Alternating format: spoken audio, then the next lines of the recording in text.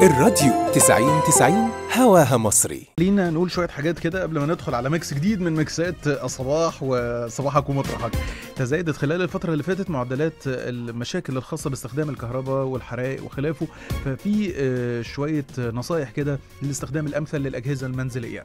آه، عدم ترك الأجهزة الكهربائية في وضع التشغيل وفصل التيار الكهربائي عنها بمغادر عند مغادرة المنزل وما نقفلش ال power وخلاص لا يعني يفضل إن الفيشة تتشال.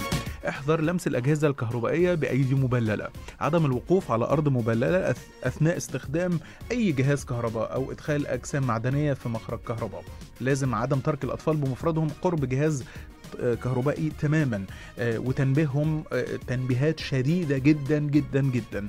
عدم تحميل أي مخرج كهرباء بعدد كبير من الأجهزة مما يؤدي إلى سخونة في المفاتيح والتوصيلات الكهربائية. خلوا بالكم يا جماعة موضوع المشترك اللي, كلنا أكيد ما بنستغناش عنه بيقال إنه كارثة يعني ف والتحميل عليه بيسبب مصايب. عند تلف أحد مخارج الكهرباء يراعى الإصلاح الفو الفوري بحد مختص بلاش إحنا نفتي. التأكد من فصل جميع الأجهزة الكهربائية الغير مستخدمة في المطبخ أو الحمام عند الاستهاء انت انت آسف الانتهاء من استعمالها.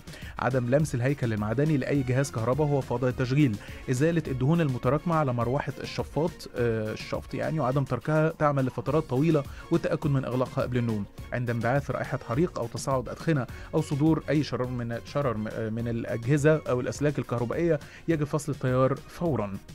عند استعمال سخان المياه داخل المنزل يجب. يجب التأكد من سلامة الثرموستات وأجهزة المنظم أو جهاز المنظم وصمام الأمان ولمبة البيان آه، وخلافه ودرجة الحرارة. التأكد من أن جميع الأجهزة المنزلية الخاصة بيك بتحمل ملصق يؤكد أنها قد مرت باختبارات السلامة الضرورية آه، وذات مواصفات قياسية. الموضوع ده مهم جدا لأن زي ما حضراتكم شايفين يعني إحنا بدون ذكر أسامي يعني في عمالين نسمع عن ناس توفت بسبب موضوع الحرائق ده وبسبب الدفاية وخلافه.